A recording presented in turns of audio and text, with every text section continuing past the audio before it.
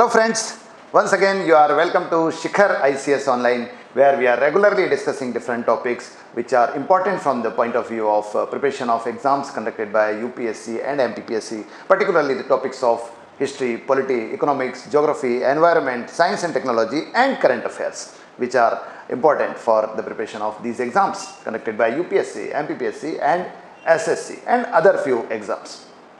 Friends पिछले कुछ दिनों से पार्लियामेंट में और पार्लियामेंट के बाहर भी particularly in in news media whether it be newspapers चाहे वो अखबार हो चाहे वो इलेक्ट्रॉनिक मीडिया हो या सोशल मीडिया हो यहाँ पर एक uh, विषय जो है बहुत ज़्यादा चर्चा में है और वो विषय है अविश्वास प्रस्ताव नो कॉन्फिडेंस मोशन अभी रिसेंटली जो है पार्लियामेंट में लोकसभा में बल्कि लोकसभा में जो है अविश्वास प्रस्ताव प्रस्तुत किया गया है एक सदस्य के द्वारा उसके बाद से ये काफ़ी चर्चा में है और आज हमारी चर्चा का विषय भी यही अविश्वास प्रस्ताव होगा। तो मैं हूँ आपका फ्रेंड सुनील सिंह और आप देख रहे हैं शिखर आईसीएस चैनल तो हम आज अविश्वास प्रस्ताव के सभी पहलुओं पर चर्चा करेंगे, खासतौर पे ये कि अविश्वास प्रस्ताव क्या होता है, फिर ये कि अविश्वास प्रस्ताव जो है वो क्यों लाया जाता है, क्यों प्रस्तुत किया जाता है, भाई no confidence motion is presented in the parliament तीसरा ये भी कि नो कॉन्फिडेंस मोशन को लाने किस तरह से लाया जाता है, कैसे लाया जाता है पर्टिकुलरली ये कि आखिर नो कॉन्फिडेंस मोशन को प्रस्तुत करने की पार्लियामेंट्री प्रोसीजर क्या होगी? संसदीय प्रक्रिया क्या होती है? और फिर ये भी कि इसका अभी तक का इतिहास क्या है? और ये भी कि इसका इम्पोर्टेंस क्या है? तो आरंभ करते हैं, शुरू करते हैं। सबसे पहले ये देखेंगे कि अविश्वास प्रस्ताव क्या है? देखिए, भारत में लोकतंत्र है, दुनिया के कई देशों में लोकतंत्र है, और डेमोक्रेसी में संसद का बड़ा इंपॉर्टेंस होता है particularly democracy of the nature of parliamentary form of governance जिसमें संसदीय लोकतंत्र होता है या संसदीय शासन प्रणाली होती है जो भारत में है, इंग्लैंड में यहाँ पर संसद जो है, वो शासन के केंद्र में होती है, पूरा शासन संसद के आसपास घूमता है।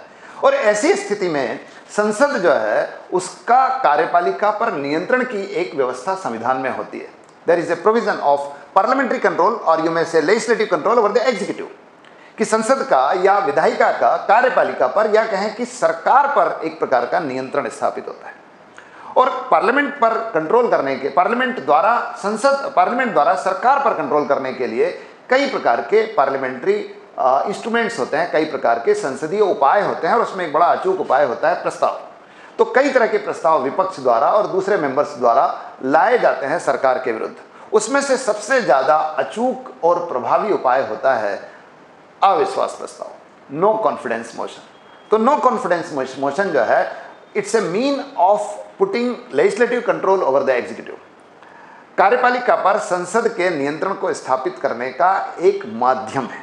तो ये तो है अविश्वास प्रस्ताव प्रश्न यह है कि अविश्वास प्रस्ताव क्यों लाया जाता है? उसके पहले मैं ये बता दूँ कि अविश्वास प्रस्ताव केवल लोकसभा में लाया जाता है, राज्यसभा में नहीं लाया जा सकता।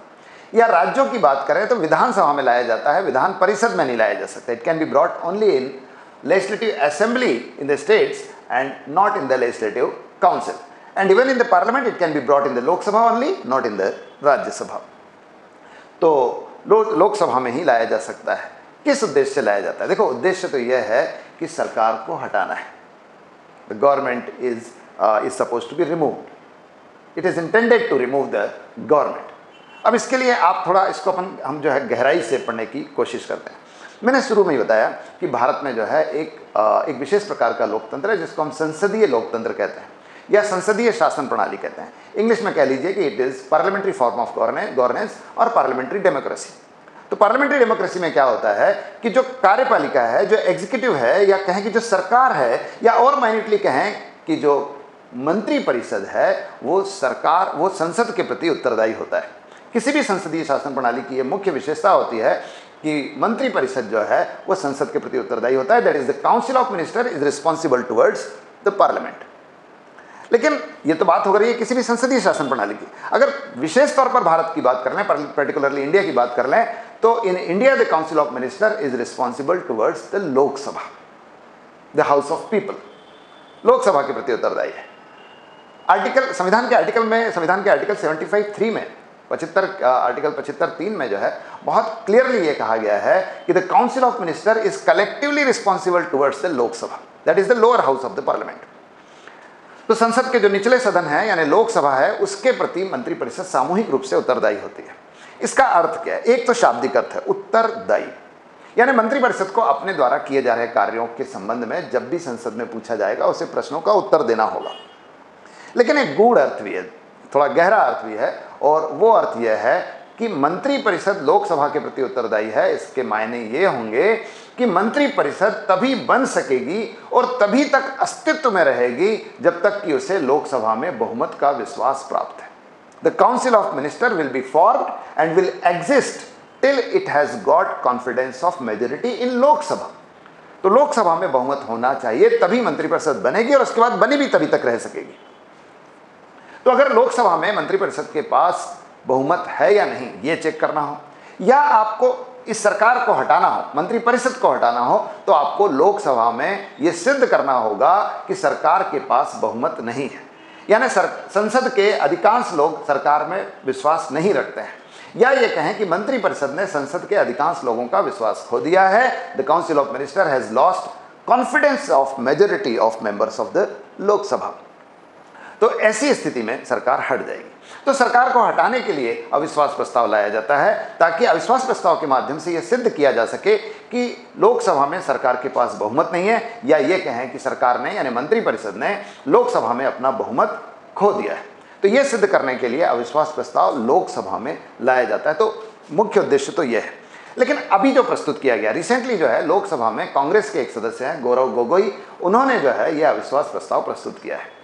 तो अभी जो प्रस्तुत किया है इसका उद्देश्य तो ये नहीं है क्योंकि स्पष्ट तौर पे सरकार के पास बहुत अच्छा बहुमत अभी लोकसभा में है। लगभग दो तिहाई बहुमत के करीब उनके पास अभी बहुमत है लोकसभा में। तो सरकार हटने वाली तो नहीं है।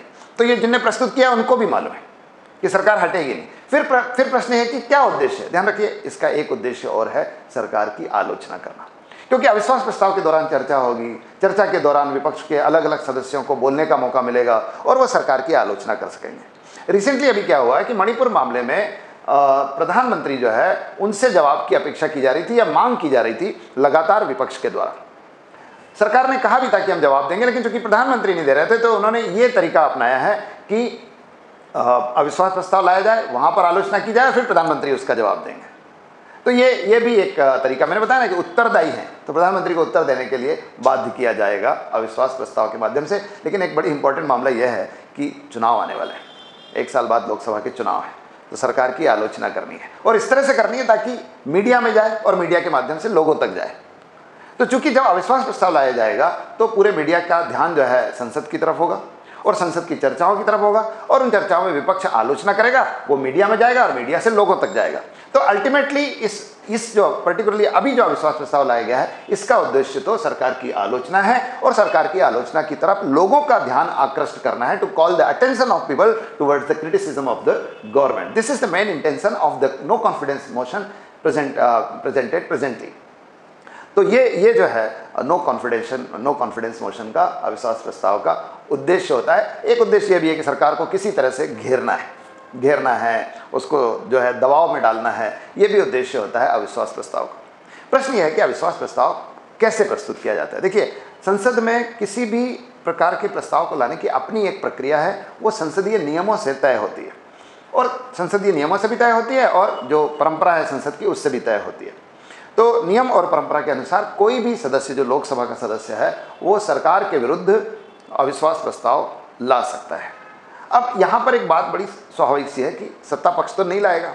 सत्ता पक्ष का कोई सदस्य तो नहीं लाएगा। तो परंपरा यह है कि विपक्ष का कोई सदस्य जो है, वो सरकार के विरुद्ध अविश्वास प्रस्ताव लाता है। अब इस अविश्वास प्रस्ताव को स्वीकार करेगा लोकसभा का अध्यक्ष, यानी स्पीकर ऑफ़ लोकसभा। लेकिन लोकसभा का स्पीकर तभी स्वीकार करता है जब कुछ शर्तें पूरी हो रही हैं। खास तौर पे ये कि अविश्वास प्रस्ताव जो है, तभी स्वीकार करेगा अध्यक्ष जब ऐसे प्रस्ताव को प्रस्तावक के साथ साथ यानी जिस सदस्य ने उसको प्रस्तुत किया है, उसके साथ साथ कम से कम 50 सदस्यों का समर्थन प्राप्त हो। It must be approved by 50 members of the Lok Sabha. तब इसको स्वीकार करेगा। लेकिन कुछ कुछ और भी रिस्ट्रिक्शंस है। जैसे ये भी रिस्ट्रिक्शन है कि बार बार नहीं ला सकते। एक सत्र में अविश्वास प्रस्ताव केवल एक बार लाया जा सकता है। दूसरी चीज़ यह तब नहीं लाया जा सकता जब लोकसभा को भंग करने में छः माह या इससे भी कम अवधि बची हो।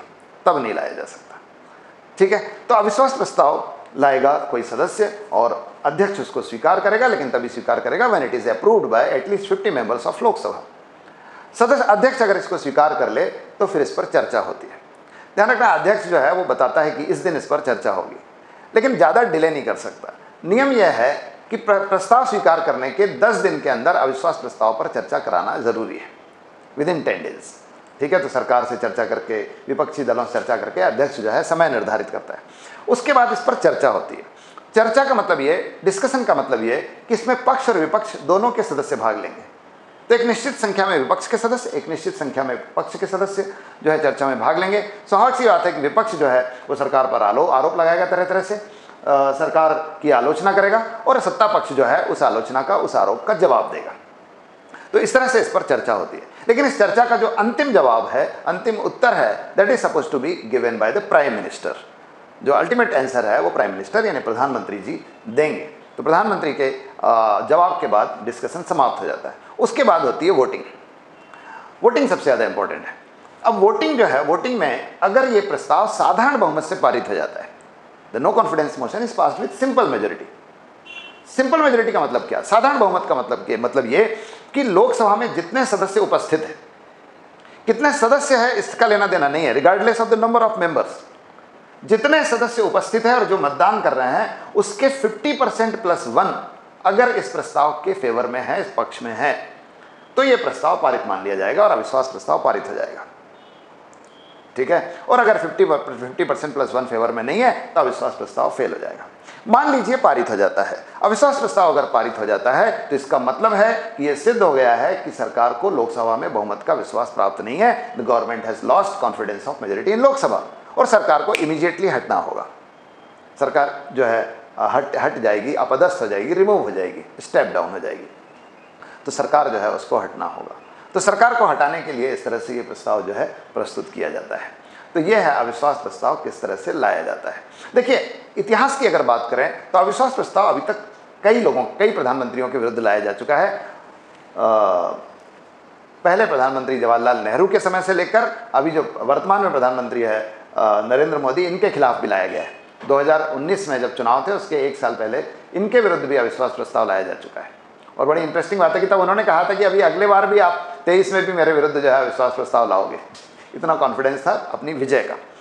खैर तो कई प्रधानमंत्रियों के विरुद्ध अविश्वास प्रस्ताव लाया जा चुका है। इंदिरा गांधी के समय सबसे ज़्यादा लगभग 12 बार अविश्वास प्रस्ताव अभी तक प्रस्तुत किया प्रस्तुत किया जा चुका है। एक ही प्रधानमंत्री है जिनके विरुद्ध अविश्वास प्रस्ताव नहीं लाया गया और वो थे मनमोहन सिंह। मनमोहन सिंह के खिलाफ अविश्वास प्रस्ताव नहीं आया था। लेकिन अविश्वास प्रस्ताव कई प्रधानमंत्रियों के विरुद्ध आया, लेकिन बड़ी इंटरेस्टिंग चीज़ यह है कि अविश्वास प्रस्ताव किसी के विरुद्ध भी पारित नहीं हुआ है। अब कई लोगों को ऐसा लग रहा है कि नहीं नहीं, अविश्वास प्रस्ताव कुछ प्रधानमंत्रियों के विरुद्ध तो पारित हुआ है। नहीं, वो एक्चुअली अविश्वास प्रस्ताव पारित नहीं हुआ है, बल्कि कई प्रधानमंत्री हैं, जैसे अटल बिहारी वाजपेयी है या मोरारजी देसाई है, ऐसे कुछ कुछ प्रधानमंत्री है सॉरी चौधरी चरण सिंह है, जो विश्वास का मत प्राप्त करने में असफल रहे they fail to get the vote of confidence तो वोट ऑफ़ कॉन्फिडेंस या विश्वास का मत अलग होता है, कभी किसी और वीडियो में इसकी चर्चा करेंगे। तो अभी तक का इतिहास ये है अविश्वास प्रस्ताव का। देखिए, अविश्वास प्रस्ताव जो है, वो उसका अगर महत्व की बात करें तो भारत में और किसी भी संसदीय शासन प्रणाली में संसद का सरकार पर एक बड़ा ज़बरदस्त नियंत्रण होता है।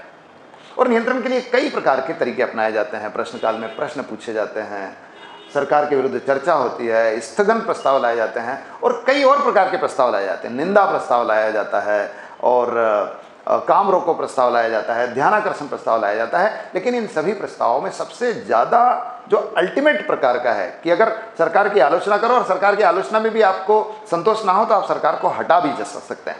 तो ये भारत में लोकतंत्र की जो हाइट है उसको शो करता है।